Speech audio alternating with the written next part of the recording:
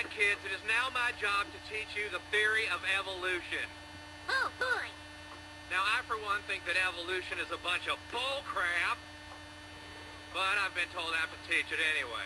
It was thought up by Charles Darwin, and it goes something like this. In the beginning, we were all fish, okay? Swimming around in the water. And then one day, a couple of fish had a retard baby, and the retard baby was different, so it got to live. So retard fish goes on to make more retard babies.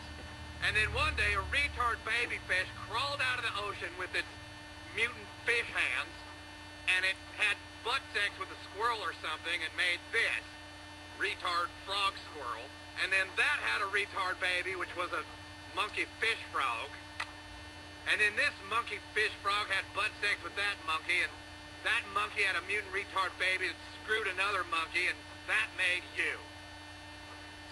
You go. You're the retarded offspring of five monkeys having butt sex with a fish squirrel. Congratulations.